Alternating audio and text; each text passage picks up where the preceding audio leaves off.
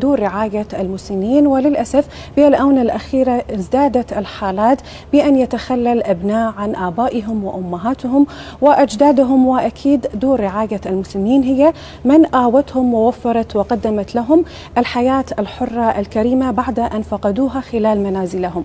نتحدث اليوم كيف يمكن ضم كبار المسنين إلى الدار. يا ست نور إحنا في بغداد عندنا دارين للمسنين. نعم. الأول في منطقة العظمية صليخ والآخر في منطقة الرشاد. نعم. آه، طبعا الدارين آه، تقدم نفس الخدمات اللي مطلوبة في رعاية آه، هذا المستفيد.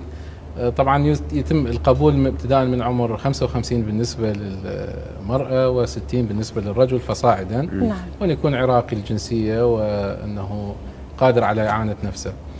طبعا دور المسنين اليوم في بغداد للأسف الشديد أقولها صارت عندنا فوق الطاقة الاستيعابية. لا إله إلا الله.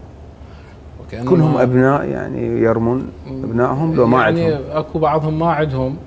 يعني ذرية وما عنده أحد وهو خلاص يعني باقي بوحده.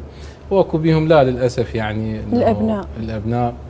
اللي هذا نشوفها حالات يعني على مستوى عالي وتفكك أسري على مستوى جدا. ما أعرف يعني جزء بدأت الناس تفقد جزء من دينها أو جزء من إنسانيتها أقولها فمي يعني. إيش قد توصل تقريبا الأعداد بالدور؟ يعني إحنا فوق الطاقة الاستيعابية يعني إحنا مثلا عندنا دار المسنين اللي في صليخ يعني المفروض إنه يكون طاقته الاستيعابية 70 لكنه إحنا واصلين أكثر من يعني بهذا العدد بكثير. دار مسنين الرشاد طاقته الاستيعابية 90 ب 130 يعني نعم. أو أكثر.